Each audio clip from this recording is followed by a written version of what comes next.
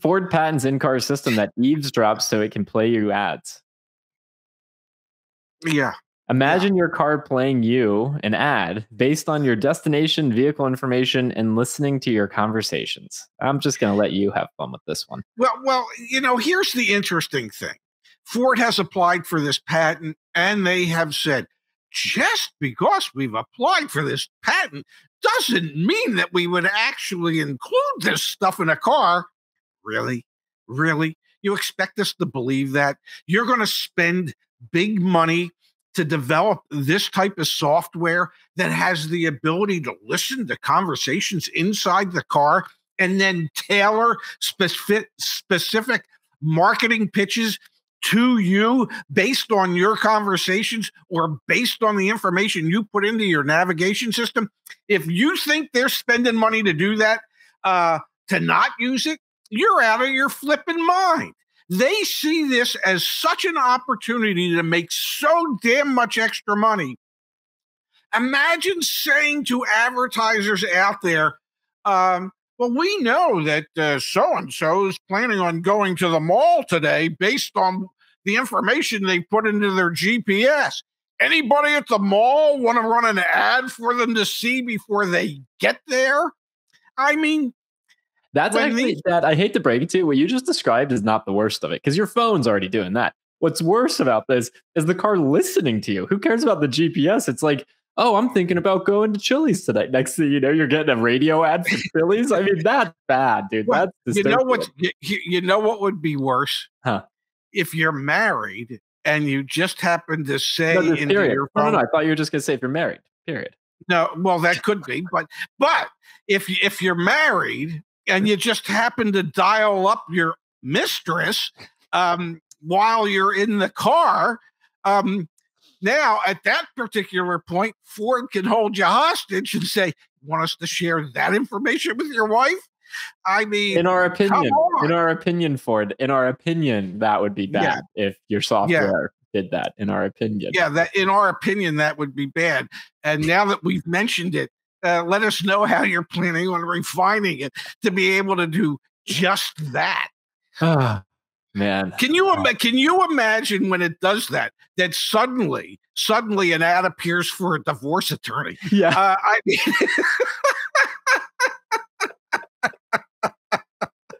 I mean, this this will be. You have you know all these manufacturers talk about how they want to make so much money off of software advertising revenue goes a long, long way. And uh, when you can combine that with your software, uh, I mean, you'll have Morgan and Morgan will be in your ear all day long in on your on your vehicle um, for whatever. I mean, it's just we are entering a stage in history that is pure lunacy, absolute lunacy. Um, but the good news is, if you're an Uber driver, you can record every conversation that you're having with your customers and prove that some of them, uh, well, maybe shouldn't be using Uber. All right. We've got a story from Purdue, the university. Um, there was a kicking contest Dad, that a car dealership sponsored. Did you get a chance to read this article, Dad? Did I ever? Zach Spangler earned his two year car lease. Rohrman, the dealership, should give it to him. I'm going to run through it. Is that okay? Uh, yeah.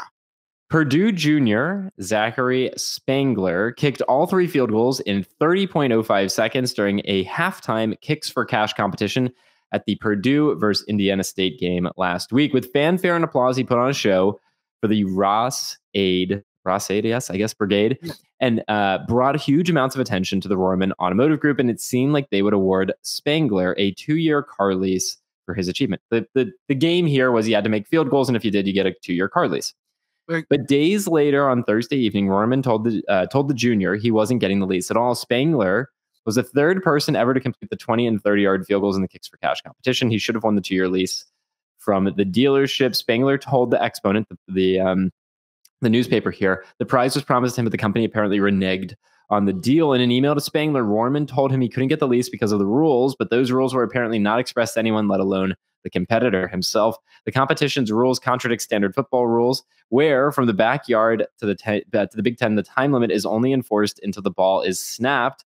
In an email to the exponent, Rohrman representatives Trey Rohrman said Spangler didn't complete the challenge by five hundredths of a second. Quote, We are disappointed that Zach was led to believe that he did accomplish the challenge, Trey wrote. Our decision to not award him the grand prize was not personal, simply out of principle and rules based. Yes, Spangler was led to believe that he won the lease, but Rohrman itself, when his, uh, but by Rohrman itself, when his contact information was taken so he could get the prize. So why aren't they giving it to him now? This is nuts, man. It is, and and and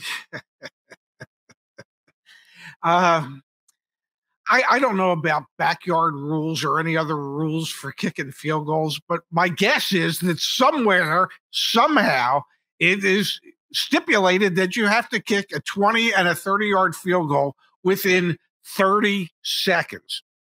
And he was at five hundredths of a second beyond that. So but that was the, from the kick, not from the snap. Not from the snap. Doesn't matter.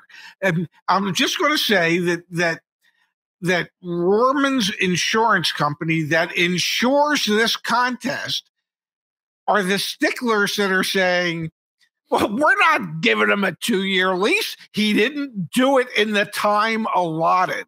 Um, you know, because the insurance company that might charge a hundred dollars every time they yeah. have this promotion doesn't want to suddenly have to eat, I don't know, fifteen thousand dollars worth of lease payments.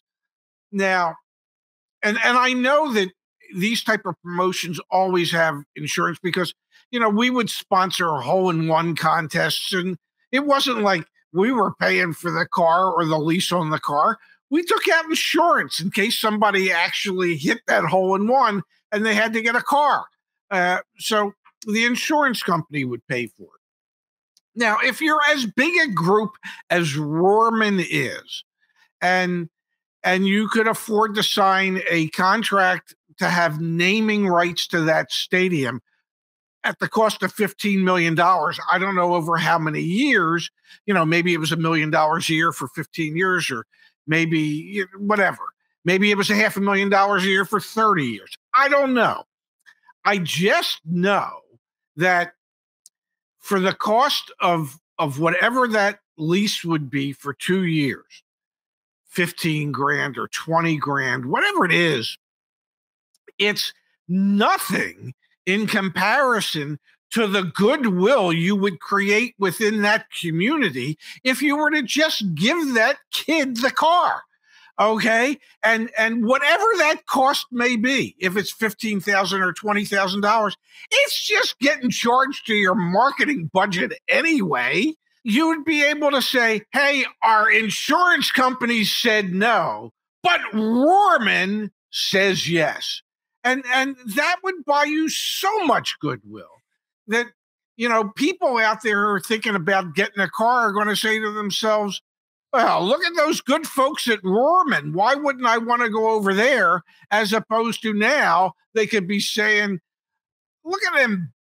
I can't use the word over at Rohrman um, they wouldn't even give that kid that car. I, It's a five hundredth of a second. Now, it's not the Olympics. It's, you know, we're not trying to determine first place and second place here. But my God, how stupid can you be to not see the goodwill that would buy you by just giving the kid the car? Yeah, I thought it was fantastic when I saw the story. I mean, I was it was like I was ready for you to react to it. Obviously, disappointing what's happening there, but we'll see. Maybe we'll get an update in a week or so.